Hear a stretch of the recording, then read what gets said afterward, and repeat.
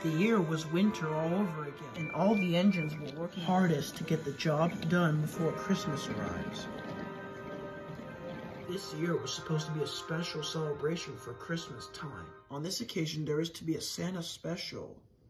Every year, a man dresses up like Santa Claus. Then, an engine is arranged to take Santa on a special journey towards his final destination, where crowds of children swarm around, excited to meet him.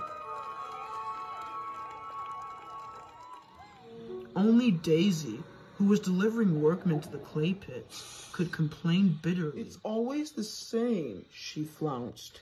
Santa comes, passengers come too. The rails are blocked by ice, traffic is delayed, etc. What on earth is Christmas really getting into? I My swear. swerves cannot take this sudden change. Bill and Ben were used to these holly jolly traditions on this year, and were willing to stand up to any objects it. Where's your festive spirit? Ben. Your swerves seem to be the only thing stopping you from enjoying this Christmas time. Agreed. Bill. sniffed Daisy. Still doesn't change the fact that these Santa specials are such a pain. We bet, chanted the twins, that you take the Santa special to lighten your spirits. Daisy was flabbergasted. I certainly would not, she cried heavy packages in my, my baggage holders, and noisy children upon my driver's ears. It's degrading. That's enough out of you three, snapped BoCo, losing patience. We're here to work, that's We all. can deal with this Santa special another day. The twins obliged as Daisy scuttled away to the branch line. The twins. They could still hear the mumbles of Daisy thinking Santa specials were beneath her. That night at the sheds, the twins couldn't stop talking about Daisy. Who does she think she is? demanded Ben, giving her own nasty opinions upon Christmas spirit. Agreed, Bill. BoCo tried to calm them down. Now, now, Daisy's entitled to her opinion. She is a diesel rail car after all. Only made for pulling passengers and carrying goods, you might say.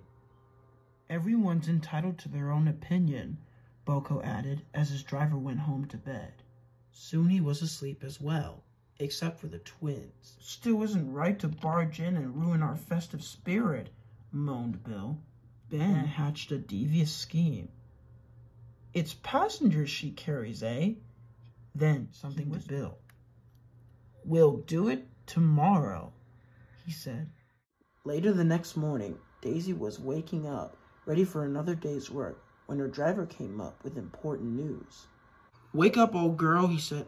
I've just received words that Sir Topham Hatt wants us to go to the works for something special tonight. Daisy was confused but obliged.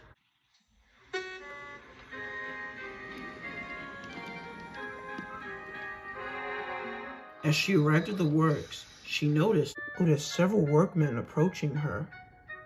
Most of them had paint cans in their hands, as if they were about to paint something.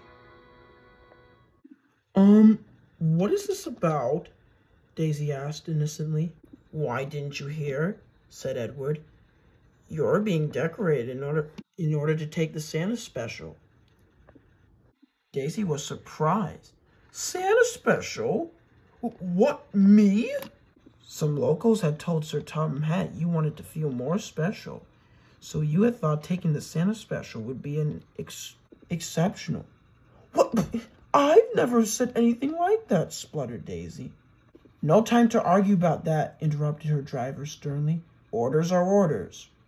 But think about my swerves and my outpost. Three, cried Daisy, but no one listened to her and continued on with their work.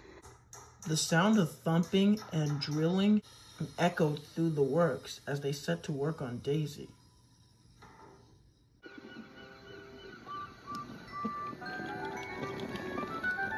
By the time they had finished, Daisy was most embarrassed. Loco was humming happily at the station when he saw something that made him almost guffaw.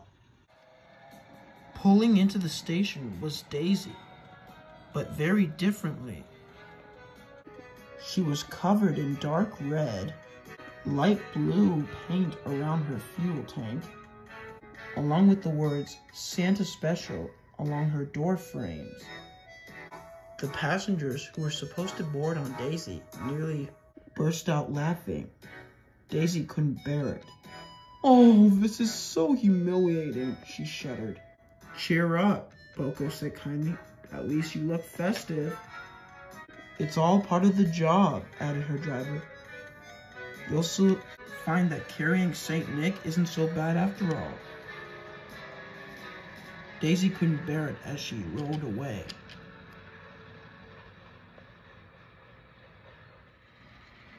As she arrived at the next station, there was a smartly dressed man with a long white beard. This was supposed to be Santa Claus. To the children, at least. Daisy winced as he saw the man approach her. You know, my train usually comes with an engine and a few spare coaches, he said. But you know, having a diesel rail car is quite a neat change. Daisy could only blush. I agree, agreed the little boy. This rail coach would be quite, quite the comfortable ride for you, Santa. She looks splendid. Yes, chuckled the old man. Please, Daisy, do your best, he advised. We have a lot of presents to sort out. And as soon as everyone was on board, Daisy set off. Soon she had reached Edward Station, where Santa proudly presented the children all their presents. May I present, he greeted, the first gift of Christmas. Everyone waved and cheered as Santa passed out all the gifts to the good little boys and girls. And even Daisy had to admit that Christmas was really special after all. Unknown to her, however, she didn't really hear the snickers of both Bill and Ben, who had whispered to their drivers. That sure was a clever plan to pay her out, chuckled Ben. Quite, agreed the driver. Although next time, don't send us back there for another host. My veins are worn out eventually. The twins could only laugh as the sound of Daisy singing along echoed through the air.